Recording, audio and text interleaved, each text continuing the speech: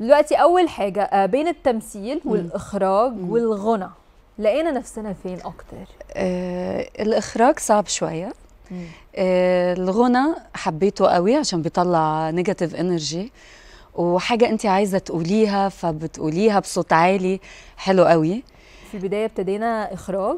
والاخراج طبعا. بقال- بعدين تمثيل. بقالك خمس ما كنتش عايزة. أمثل يا سارة أنا طب إزاي. ابتدينا هم؟ خدوني.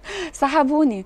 يعني ابتدت كنتش- الفرص تيجي من بعد الإخراج. لا هي ابتدت من قبله. okay بس أنا ولكن- ما كنتش بفكر أصلا. آه فكرتي بعد ما ابتديتي إخراج؟ عشان كان في ناس معينة كده قالوا لي صبا فيه دور حلو قوي فعجبني.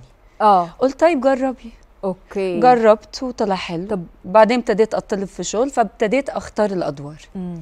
حسيت ده آه. انت مش بتعملي يعني ممكن تعملي دور ما يبقاش دور كبير قوي ولكن دور مؤثر قوي في ال- في يعني الخط بتاع الدراما. ما هو ده بتنتقي. لازم يبقى مؤثر. درامي ادخل أعمل صحيح، حاجة يعني. صح يعني ما اعتمدتيش على شكلك. دايما بنشوف إنه مزة لبنانية ف لا رفضت. جالي قبل كمان ما اعمل أيوه. نصيبي وقسمتك. آه.